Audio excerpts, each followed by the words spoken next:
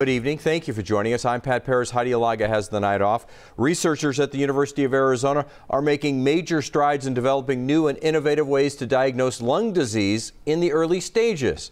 Nine on your side, Chandrea Thomas has more from the experts.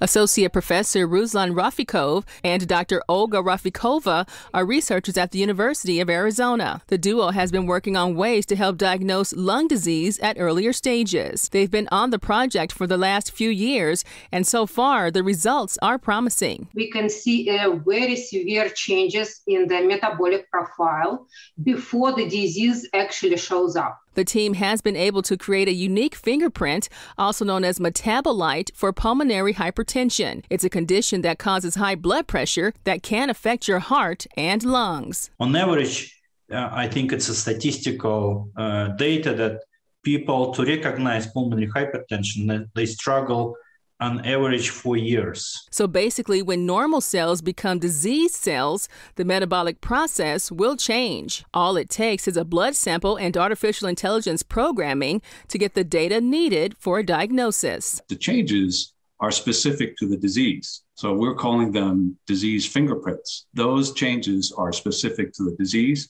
And if we can detect that pattern, then we know that the disease is present. 45% of Americans have at least one chronic disease. Researchers teamed up with TechLaunch Arizona to create a new startup called Metfora to help them move their work into commercial use. And this is a great example of fourth industrial revolution. It's kind of the blurring of the lines between the physical, the digital, and the biological worlds. It's also been discovered through the process that women over 40 are three to four times more likely to have pulmonary hypertension and might not know it. But an earlier diagnosis can help save treatment time, money for patients, and lives in the future. The team is currently looking at COPD and other diseases to help find new solutions. We take the time it takes to get to a proper diagnosis from years down to weeks or days. Chandrea Thomas, KGUN 9 on your side.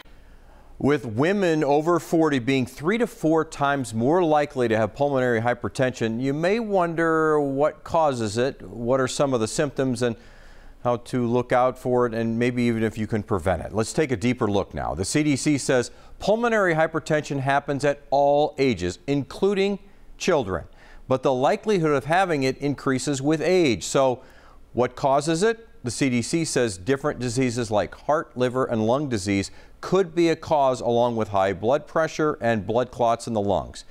Your genetics also play a role.